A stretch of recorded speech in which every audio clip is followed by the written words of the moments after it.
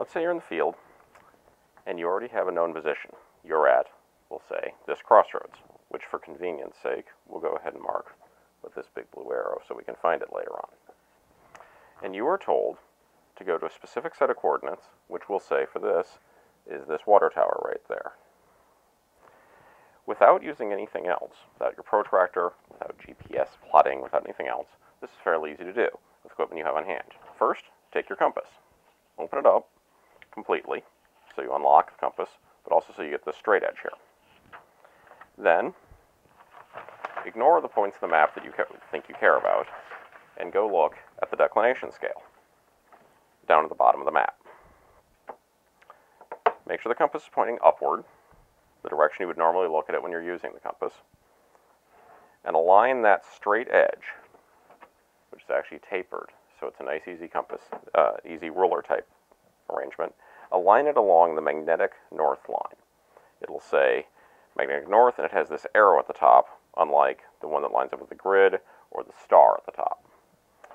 Align it with that, and unlike what I'm doing here, putting it on top of this electronic device, don't make sure that there's no metal underneath the table. Don't do it on the hood of a vehicle or anything. Then, holding the compass to the map, turn the two together until the north needle, the, the triangle for north, aligns with the small black line inside the, the compass housing as such. You see when it's not lined up, there's a black line in the compass there. We're trying to get this triangle to line up. And my pencil has metal in it, so it's messing things up. We'll go back out and do that again.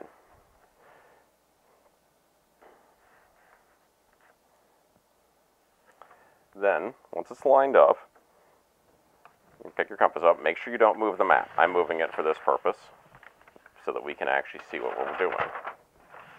But pretend it's all still lined up perfectly. Then,